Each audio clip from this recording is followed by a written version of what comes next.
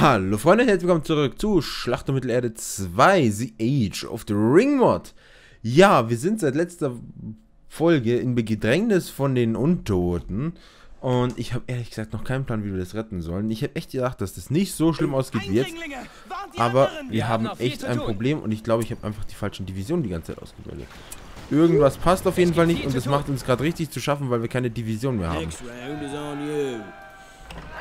Ich bringe das Baumaterial. Und es macht es jetzt echt gerade schwer, irgendwie das Ganze hier am Laufen zu halten, denn wir brauchen dringend wieder Divisionen eigentlich. Beschützt den Baumeister! Sie greifen die Siedlung Und die haben nämlich unten jetzt auch noch ihren Scheißturm. Unsere Feinde kommen über uns! Put down your drinks. Unserem Land droht Gefahr! Sie haben den Baumeister erschlagen!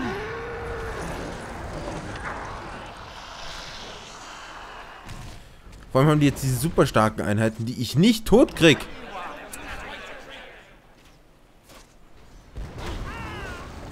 Baumaterial. Sie greifen unseren Baumeister an! Wir brauchen mehr Rohstoffe! Vor allem diese Viecher sind ekelhaft. Freelanders, together now. Time to take their coin, Wir müssen ihnen standhalten! Schon, die sterben nicht. Die sind so heftig. Ich glaube, dafür bräuchte ich irgendwie Spezialbogenschützen, aber die habe ich nicht.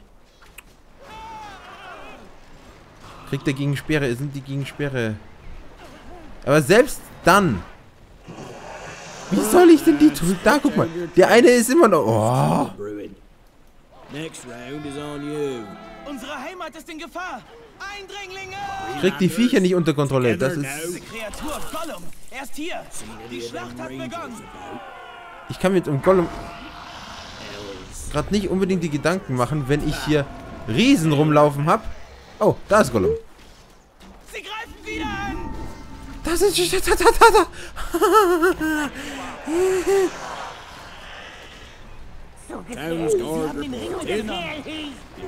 Oh, scheiße. Jetzt, äh. Eindringlinge! Warnt die anderen! Schaltet die aus, schaltet die aus, schaltet die aus! Then. gefallen! Wir können sie nicht aufhalten! Wir müssen ihnen standhalten! Fällt der jetzt mal? Grutze fix! Alter! Es gibt's doch nicht!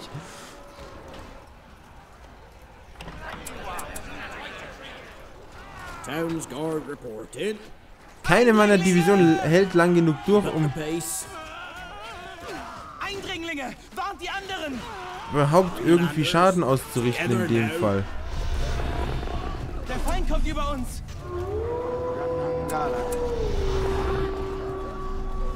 Beschützt den Baumeister!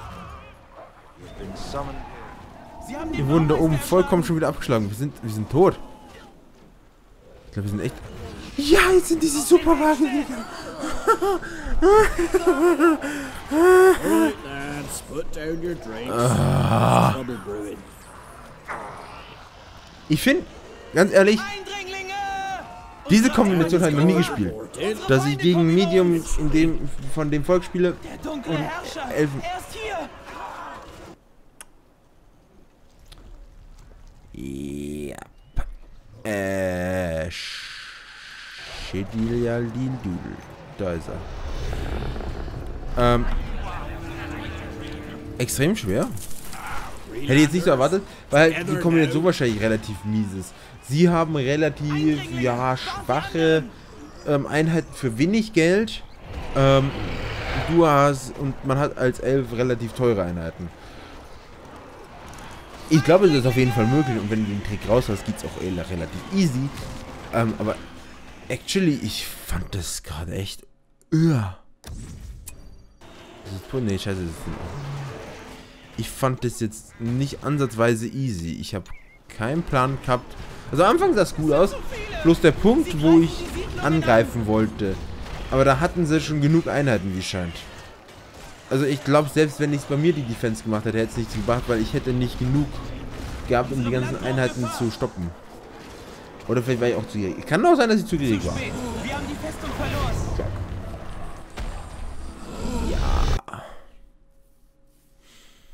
Das war jetzt nicht so geplant. 26 Minuten. Yay. Ähm, nehmen wir nochmal das Fortress, Fortress Grey Course. Ähm, nehmen wir die Karte oder? Wir nehmen jetzt hier dreimal easy, zweimal easy. Hört sich jetzt bescheuert an, aber ich muss wieder reinkommen. Ich habe das Spiel ewig lang nicht mehr gespielt. Und seitdem ich selber versuche, ein Spiel zu programmieren, auch ein RTS, ähm, ist vielleicht auch mal wieder gut mit RTS zu spielen, um halt selber wieder das Gefühl zu kriegen, was gut ist und was schlecht ist. Ähm, ja. Wie sind die Rules? Passt alles. Wir tun mal den Ring hier, obwohl, lass mal drin. Let's play. Let's go. Ich bin Isengard. Oh, yes. Gegen Misty Mountain und Mordor. Ah, das könnte interessant werden. Das könnte interessant... Ich bin... Oh. Natürlich bin ich in der Mitte von beiden. Ich hätte lieber unten irgendwo angefangen. Aber nicht lange schnacken. Kopf in Nacken. Hier gibt es immer Arbeit. Noch einen Baumeister. Wie schaut die Karte hier aus? Hier ist ein Übergang. Den muss ich relativ flott halten. Hier ist nichts. Ich habe hier die Front und hier eine Brücke. Wenn ich hier zwei Türme aufstelle, habe ich schon mal gesaved. Ähm, ich brauche vier Türme circa. Dann brauche ich einen Baumeister, der mindestens das mal macht. Ich nehme Sarumans Auge und schau mal nach hier unten. Da ist Mordor. Das Auge beobachtet uns. Ja, ja, auch schon aufgefallen. Komm schon, Baumeister. Ich brauche noch einen Baumeister. Kommt schon. Hey, Baumeister, an die Arbeit. Hier Schön. gibt es immer Arbeit. Ich brauche einmal die Urukhöhlen. Ihr wisst, was zu tun ist. Das, Gebäude beobachtet uns. So. Wir haben hier wenigstens viel Bäume. Das macht es für mich als Böser, aber auch genauso für meine anderen zwei Komponenten, äh, gut, weil die können die Bäume fällen. Bedeutet Bonus-Einkommen. Noch ein Gebäude fertiggestellt. Haltet euer Werkzeug bereit. Baut! So. Was als Isengard Vorteil ist, ich könnte hier außenrum eine Mauer ziehen. Was mir die Front schon mal zumacht. Was ich jetzt dringend brauche, ist mal... Oh, fuck, die fangen schon Das so an. neue Gebäude ist fertig. Wir haben jetzt eine Arbeiter! Ich brauche auf jeden Fall Mach dich Erstmal- nützlich. Arbeiter! So viel Einkommen wie möglich. Am besten geht es mit Sägewerken. Und ich ziehe gleich mal eine Mauer. Einfach weil safe safe ist. Und ich unbedingt wissen will, was hier abgeht. Ich will nicht nochmal vernichtet werden. Jetzt wurde ich schon von Geistern vernichtet, jetzt werde ich aber nicht mehr vernichtet hier. Noch mehr Uruks kommen aus den Gruben. Perfekt. euch kampfbereit! Die sind schon mal auf die auf Passiv. Oh Gott. Und es schaut mir aus, als ob sie oben den Pfad nehmen wollen. Oder auch nicht. Davor habe ich am meisten Schiss, dass die jetzt anfangen, die Pfade zu nehmen. Noch ein Gebäude fertiggestellt. Ich weiß, ich Deswegen. weiß. Hier wird nicht gefaulenzt. Für mich als Vorwarnung. Ihr wisst, was zu tun ist. hier bitte hin. Arbeiter! Du baust mir noch Die ein Uruks sind kampfbereit. Holzfäller hier hin.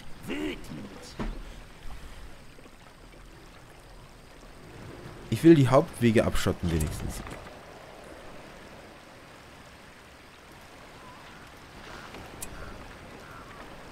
Arbeitet an eurer Einstellung. Ihr wisst, was zu tun ist. Ein Höhlentroll. Bringt ihn zu Fall, wenn er näher kommt. Da sind wir schon mal zu. Das ist jetzt. Wir werden. Oh, fuck, fuck, fuck, fuck, fuck, fuck. Hier gibt es immer Arbeit. Macht die Uruk-Krieger kampfbereit. Wir Ah, gut. brauchen einen neuen Baumeister. Das neue Gebäude ist Gut ist schon mal zu, wenigstens zu wissen, dass da oben ein Höhlentroll ist. Das macht schon mal positiv auf der einen Seite. Euch, Auf der anderen. Seite ist es natürlich kacke, dass ich jetzt keine Übersicht habe. Natürlich meine Gegner jetzt wissen, was da oben abgeht. Das Gebäude ist fertig. Wir haben viel zu tun. Mann, ich brauche irgendwo. Ihr Hier, auch wisst, noch eine hin. kampfbereit. Und wütend. Wie schaut es bei denen aus? Oh, wow, die haben schon Troll, ein Trollhort. Unangenehm. Aber sie hauen sich gegenseitig schon mal auf die Möhre. Das ist schon mal vorteilhaft. Das neue Gebäude ist fertig. Also ich bin schon mal nicht der Hauptzielpunkt, wie ihr hier seht.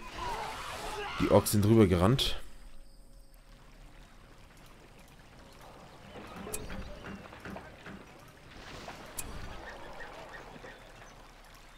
So.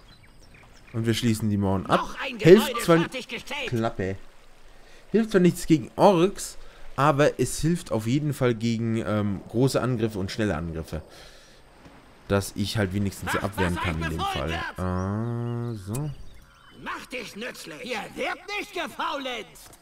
Ist mir eh schon wieder das Money ausgegangen. Ihr wisst, was zu tun ist.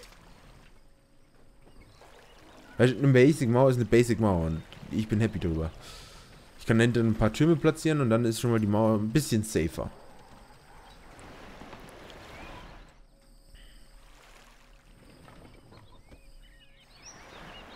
Was man zum Beispiel später machen könnte, ist wahrscheinlich hier eine Mauer hinziehen oder Türme wenigstens. Macht eure Waffen bereit! Also jetzt mal nach vorne. Einmal den Urukai-Hort upgraden. Wir wären dann fertig. Macht euch wieder an die Arbeit. Dann hätte ich gern Mach einen Reitertrupp. Ich habe ihn gesehen! Gollum! Das Gebäude ist Wo? fertig. Jo, wir haben Gollum direkt in der Festung. Hunger! Vorwärts! Schneller! Wir haben die Urugrube vergrößert. Vorwärts! Wo ist Gollum? Bewegung!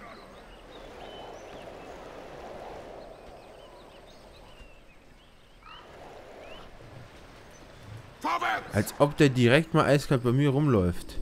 Weiter! Weiter! Haltet die Waage in der Waaggrube! Den nach vorne. Vorwärts! Haltet euer Und dann bereit. brauchen wir auch noch eine Baut. Ballistenwerkstätte. Jetzt brauchen wir mal Urukais noch. Gut. Zurück an die Arbeit. So. Mach dich nützlich. Oh, eine Schmiede. Ich vergesse fast immer die Schmiede. Immer.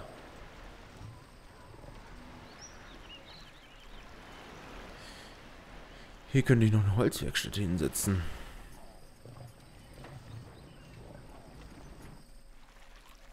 Vielleicht können wir später mal die Mauern bis... Hoffentlich haben die neuen Reiter ihre Köter unter Kontrolle. Noch mehr Uruks kommen aus den Gruben. Wir greifen an! Bald! Macht euch kampfbereit! Maschinen bauen. Schneller! Ihr schaut euch mal das ein Gebäude fertiggestellt. Hier gibt es immer Arbeit. Irgendwo ein Platz für eine Schmiede.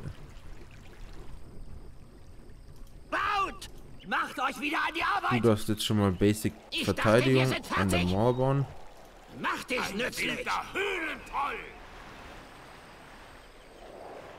Die neuen Waagreiter sind da. Wo denn jetzt schon wieder? Uruks! Bewegung! Das neue Gebäude ist fertig. Wie machen die das? Die waren schon da, ohne dass ich es bemerkt habe, ansatzweise.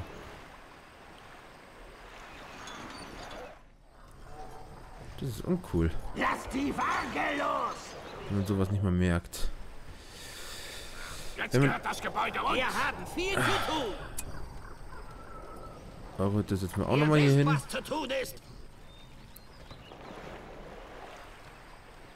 Bei den Höhlentreu beseitigen wir dann mal, auch wenn es sich doof anhört. Aber für mich ist das ein Punkt, dass ich hier oben eine die Verteidigung selber halten kann und nicht unsichtbar bin. Der Feind greift uns an. Was sollen wir danach bauen? Und wir haben jetzt halt auch dementsprechend die Ressourcen aktuell. Dass wir uns das leisten können. Da bräuchten wir wahrscheinlich eher die Speerkämpfer. Ja, das hätte ich wissen können, aber Egal.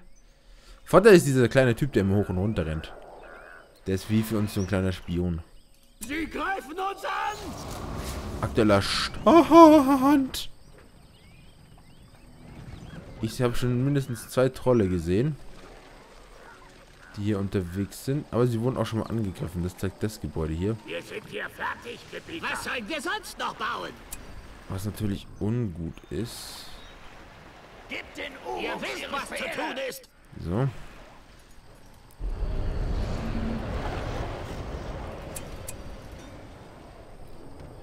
Hier noch ein bisschen was hin. Wuppala. Das Gebäude ist fertig, Ei, Gebieter. ei. Das geht wieder gut voran. Das ist vorteilhaft. Zurück an die Arbeit! Baut! Ich setze immer so einen schönen Abstand ein paar Türme hin. Einfach weil die auch ein bisschen mehr Sicht geben. Ihr seht schon, Mauer und, Turm. und das lässt uns natürlich sehen, was abgeht. Nehmt eure Waffen. Weiter, Wir weiter. haben jetzt Bannerträger! Perfekt. Bannerträger sind auch das, was ich brauchen kann. Macht eure Waffen bereit! Schauen wir mal, wie es beim Mordor nochmal ausschaut.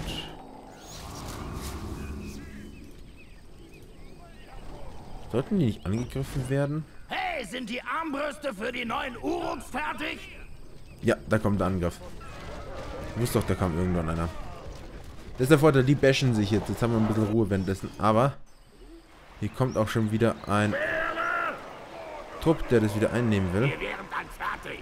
Wir sind hier Wird fertig. nicht gefaulenzt!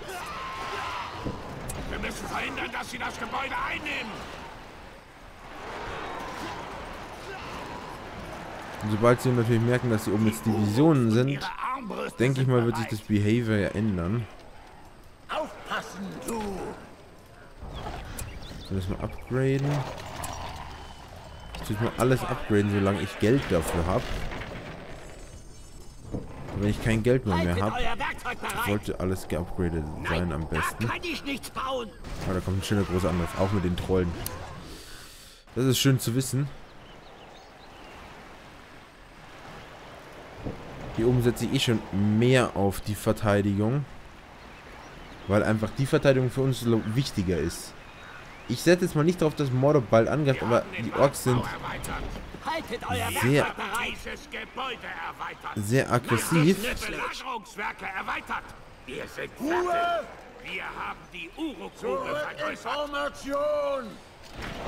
Was ich als Anzeichen mal sehe, dass die Orks immer aggressiver bleiben und somit die Oberhand über den über Mordor halten können. Was für uns natürlich vorteilhaft sein könnte, weil wir somit erst uns gegen ähm, die Orks schützen anfangen, dann die ähm, schauen, dass... Sie das? Ist das der Feind? Wo? Wir sind hier fertig, Gebieter. Oh ja. Sie brannten über die Mauer. Aufwachen! Ja, lasst keinen am Leben! Da haben wir den Vorteil, es bringt sich Dachte, wir nichts. sind fertig! Baut! Wir Solange haben sie auch drüber laufen, also sie sind zu langsam dafür, dass wir ähm, das halten können. Wir haben den Wagbau erweitert. Ruhe jetzt! Aufpassen, du! Na gut, Leute, aber ich würde sagen, das war's auch für diese Folge. Ich hoffe, es hat gefallen. Wenn ja, lasst unbedingt diesen Daumen nach oben da. Abonniert, wer noch nicht habt. Und wir sehen uns in der nächsten Folge wieder. Also, bis dann. Ciao.